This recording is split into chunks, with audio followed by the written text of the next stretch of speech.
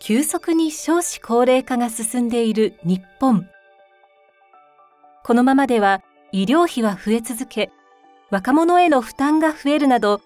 皆さんの生活に様々な問題が起こることが予想されます。東京大学 COI では、いつまでも健康で元気に生活を送るために、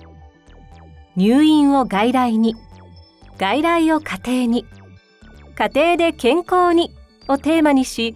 病気をいち早く発見したり、生活習慣を改善してもらうための新しい技術開発に取り組んでいます。人生の階段を元気に登る社会へ。東京大学 COI 自分で守る健康社会。